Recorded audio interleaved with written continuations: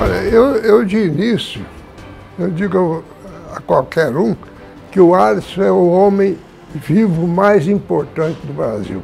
Eu conheci o Alisson ainda como estudante lá em Lavras, eu formei primeiro que ele, formei Viçosa. Logo eu vim para aqui. E naquela época nós tínhamos Semana Ruralista e o Alisson vinha todas as Semanas Ruralistas. Depois, na festa do milho, ele andou vindo também algumas vezes. E graças a ele, o mundo deve, o Brasil deve a ele o trabalho que ele fez, o empenho que ele fez para fazer o Brasil produzir. O Alisson é o, o, o, cúmplice de nós estarmos aqui no Cerrado, em Minas Gerais, pois foi ele que criou né, o Polo Centro, que foi assim um programa da expansão do Cerrado da agricultura aqui no Sudeste e, e, e Norte, né, Centro-Oeste, aliás, do Brasil. O Alisson é um desbravador.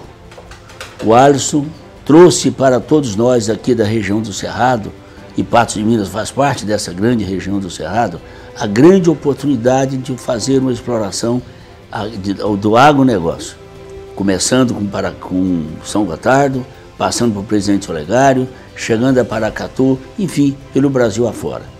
O Alisson ele foi sempre um sonhador. Particularmente a nós, juntamente na época de 1976, quando nós chegamos aqui em Patos, juntamente com o saudoso Paulo Madar Piva, né? E, e, nós somos em Brasília, né? O pai dele era o chefe do gabinete dele. Então a nossa história é longa e foi longa, mas o progresso foi muito maior ainda nessa época. É um agrônomo de excelente qualidade, um grande professor e que eu tive a oportunidade de conviver com ele durante muito tempo. E essa nossa região especificamente, o Alisson tem grandes amizades, relacionamento e mais do que isso, trouxe para nós o orgulho de ser um produtor rural. Quando foi secretário da Agricultura, ele lançou o PADAP, que é o Plano de Desenvolvimento do Alto Paranaíba com, com a cooperativa de Cotia. E logo em seguida, o, o, o, o presidente Gás assistiu a palestra dele e o convidou para ser ministro da Cultura. Mas na época que o Paulinelli fez aquilo, nós já estávamos plantando milho híbrido aqui. Eu tenho uma taça aqui, Alisson Paulinelli, de 1974, eu fui campeão de milho. Olha o que, que nós produzíamos naquela época. 83 sacos, eu fui campeão em Minas Gerais. Vem o Alisson, manda nós plantar, hoje nós estamos colhendo perto de 200, aliás, perto de 300, porque 250 no pivô está todo mundo colhendo. Perto de 200 nós estamos colhendo os nossos sem, sem irrigação. Aí o presidente Geisel perguntou para ele, como é que nós vamos fazer com o Embrapa? Falou, nós vamos mandar mil estudantes fazer curso lá fora, com a condição de voltar e trabalhar na Embrapa. E foi uma coisa fantástica que ele fez, porque é, baseado no Alisson, que o Brasil hoje é um, eu diria, um, um, grande celeiro do mundo. E eu desde criança acompanhei meu pai, porque o Paulinho vinha, né, era muito presente aqui em Patos, incentivava muito a agricultura aqui nessa região nossa. Então eu lembro de ir em eventos com meu pai na época, quer dizer, isso tem 50 anos, né? Era criança. Eu não me recordo se foi 72 ou 73. O professor teve aqui e nós fizemos uma reunião com ele no sindicato. Aonde lá fomos conversando e ele falando conosco que nós tínhamos que plantar, que nós tínhamos que ir para as terras planas, que as terras planas, além de ser ruim, mas tinha como consertar, aquela coisa. E nós fomos falando com ele, ô professor, eu não conheço soja. Eu nunca vi um grão de soja na vida, vi retrato. Eu não conheço esse troço. O senhor quer que nós planta aqui? Aí nós falamos com ele, se o senhor mandou uma semente para nós, porque nós não sabemos nem aonde arranjar semente. Nós vamos mexer com isso, vamos fazer. E nós plantamos. Eu plantei lá, ali na, no Santiago, na Fazenda Lajinha, o Zé Ribeiro plantou ali no, na Santana e começamos a coisa com soja. Ele conseguiu fazer programas especiais de financiamento financiamento com prazo maior, com juros mais acessíveis, exatamente para desbravar e conhecer o Cerrado. Naquela época nós éramos importadores de alimento e viramos hoje exportadores de alimento e alimentamos mais de um bilhão de pessoas lá fora.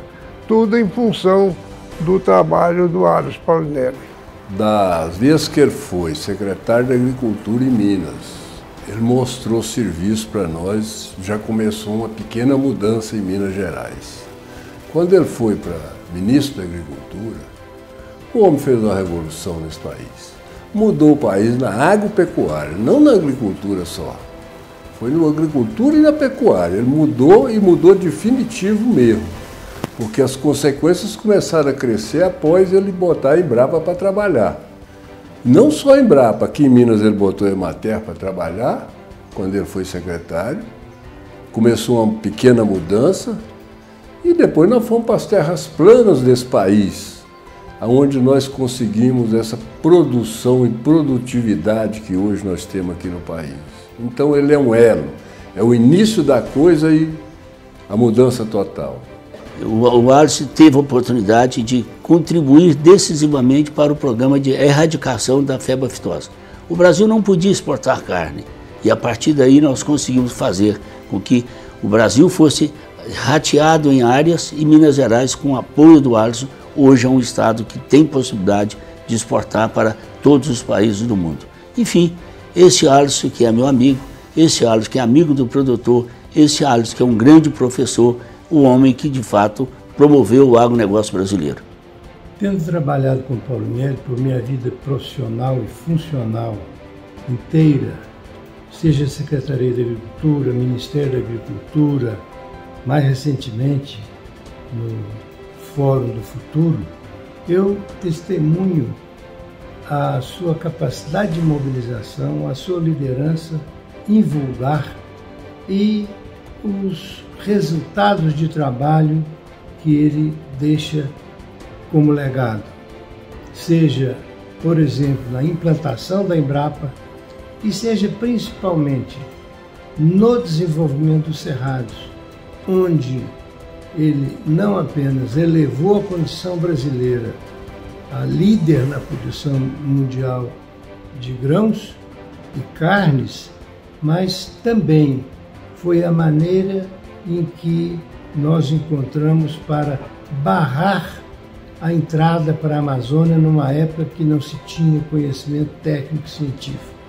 O presidente Geisler esteve aqui duas vezes, uma como presidente e depois ele veio aqui depois que saiu da presidência, e num almoço lá na Grossésia, eu perguntei para ele, o, presidente, qual foi o seu melhor ministro? Ele me respondeu, foi o Alex Falinelli. Ele era o meu conselheiro. Eu estava sempre me aconselhando com ele. O Paulo Cinto nos ajudou barbaridade. Não só com financiamento. Nós tínhamos a Emater, que tinha excelentes técnicos nós tínhamos o Embrapa que mandava as coisas que elas estavam pesquisando, ia mandando para nós.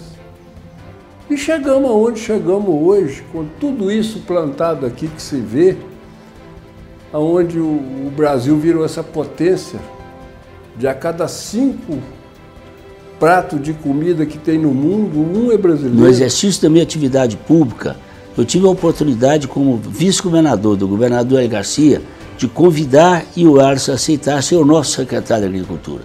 Um extraordinário secretário que desenvolveu, que transmitiu, transferiu para o produtor a necessidade de se tornar, de fato, um grande produtor. Prova disso é o projeto Jaíba de irrigação que Arce e eu estivemos no Japão para assinar o contrato para aquela grande e majestosa obra.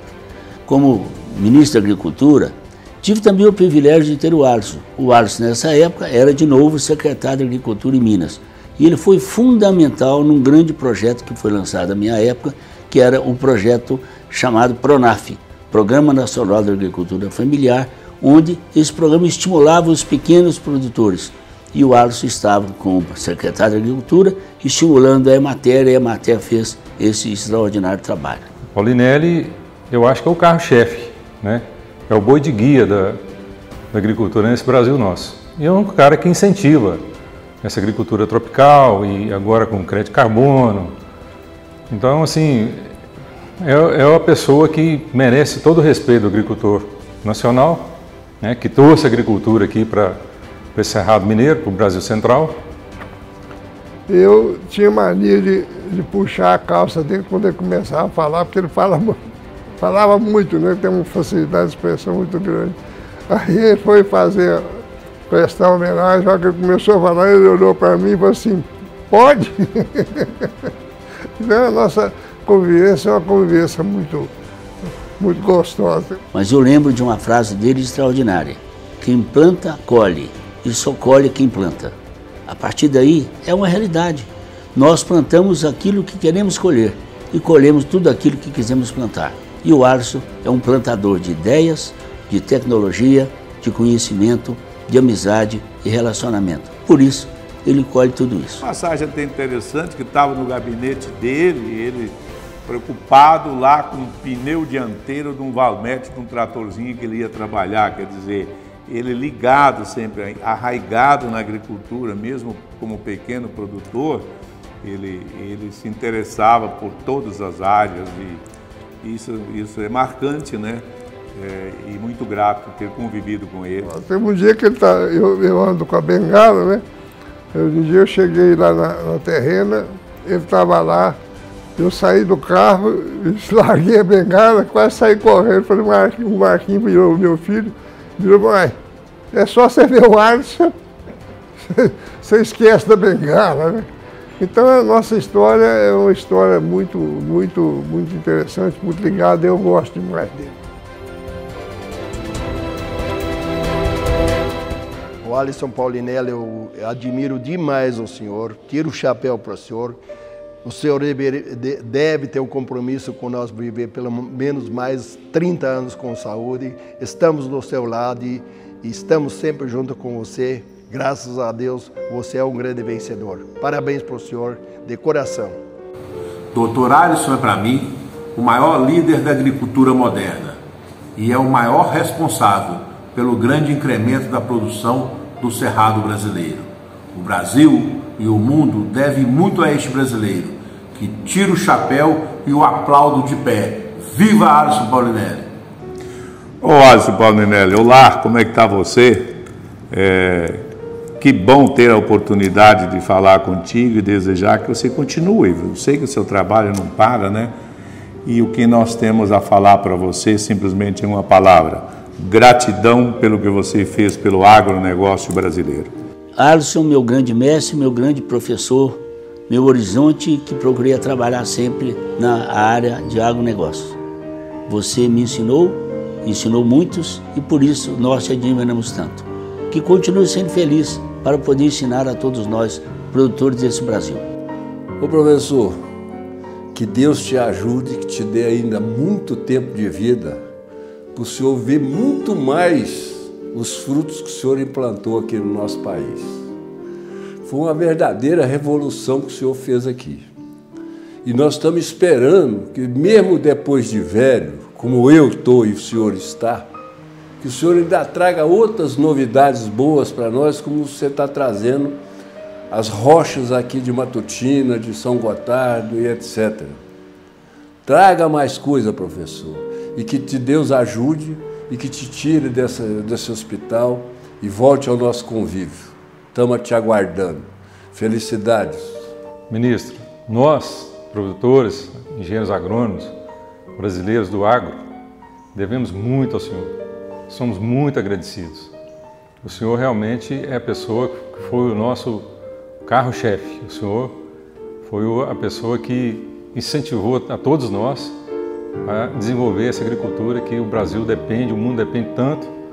E o Senhor é, é a pessoa que mais incentivou com todas as, as oportunidades que o Senhor trouxe para muitos engenheiros agrônomos, pesquisadores, então nós do agro agradecemos muito a sua, o seu legado né? e o senhor que o senhor continue trabalhando ainda mais por uns bons anos. O senhor está com a força total ainda e nós te agradecemos muito.